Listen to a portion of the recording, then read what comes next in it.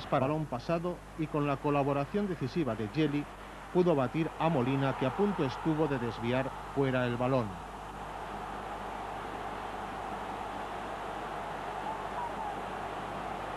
Poco después, el Celta pudo remachar el resultado en una acción de Mostoboy que se fue al larguero.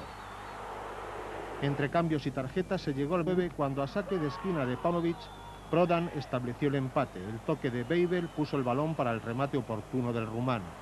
No se conformó el Celta. Y ahora los goles. El primero, la jugada de Felipe, que termina Pinilla. Se lo merecía el Tenerife, que hasta entonces jugaba más.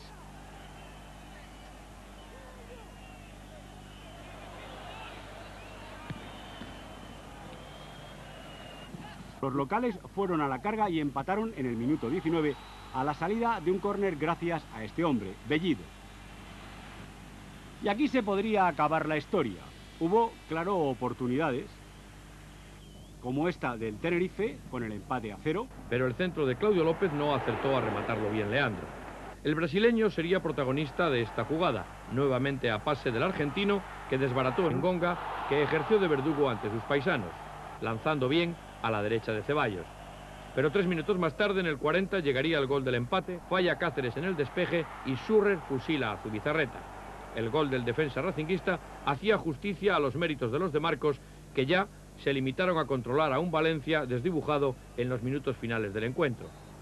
Empate a uno que con...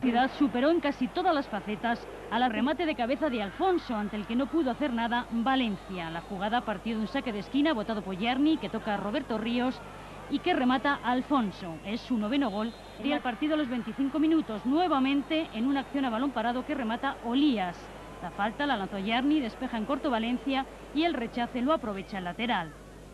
Los verdiblancos arrollaban al Atlético con velocidad y una excelente capacidad de desmarque de sus delanteros.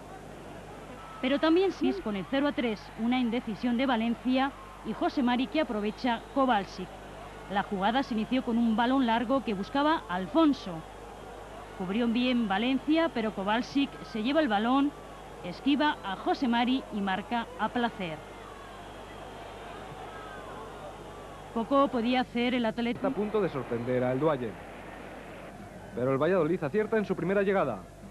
Víctor ve la entrada de Fernando. Cota no acierta a despejar. Y Fernando logra el 1 a 0.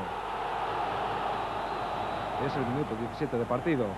En la repetición vemos el fallo de Cota y los reflejos de Fernando para aprovechar el regalo. En el primer tiempo el Valladolid muestra una tremenda efectividad. El pequeño Raúl por dos veces gana un balón de cabeza. Y Víctor tiene la rapidez y habilidad suficiente para lograr el segundo tanto. Se cumplía el minuto 34. Víctor está más rápido que la defensa madrileña y aguanta la salida de Contreras. El segundo tiempo sigue por los mismos parámetros. A los ocho minutos, Víctor, tras recibir de Raúl, puede sentenciar, pero Contreras está acertado en su salida.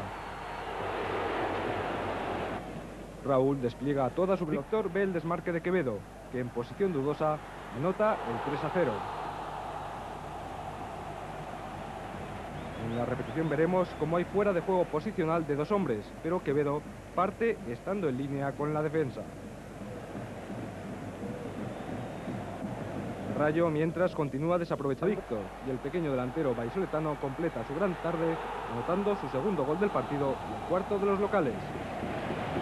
La repetición no nos aclara la posición dudosa de Víctor noveno gol del jugador del Valladolid en la Liga pone punto final a un encuentro más cómodo de lo previsto para el Valladolid.